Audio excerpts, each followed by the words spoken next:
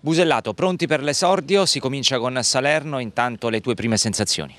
Sì, penso che saremo pronti per, per l'esordio in campionato. Ora vedremo come, come sarà questo campionato, come si presenterà da subito. Penso sia un campionato difficile quest'anno, molto equilibrato e sabato lo scopriremo. Sei stato utilizzato con grande continuità tra precampionato e Coppa, chiaramente è la maglia da titolare, che partita ti aspetti a Salerno?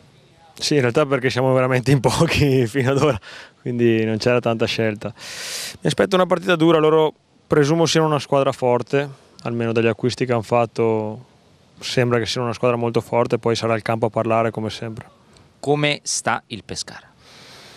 Ma non so, non so ancora dirglielo penso che, che, stiamo bene per ora, eh, poi lo dirà il campo come ho detto in precedenza. Sei arrivato a Pescara con un biglietto da visita non male, ovvero oltre 230 partite in Serie B.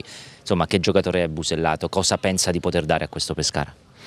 Ma non lo so, valuterete voi mm, durante il campionato il giocatore che sono.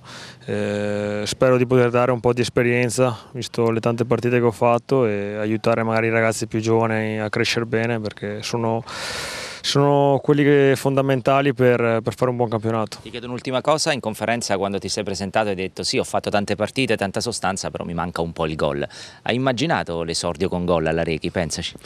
Non l'ho immaginato sinceramente, però? Sarebbe bello anche perché ho giocato lì, quindi segnare un ex, una, squadra in cui si è giocato è, è bello. Esulteresti?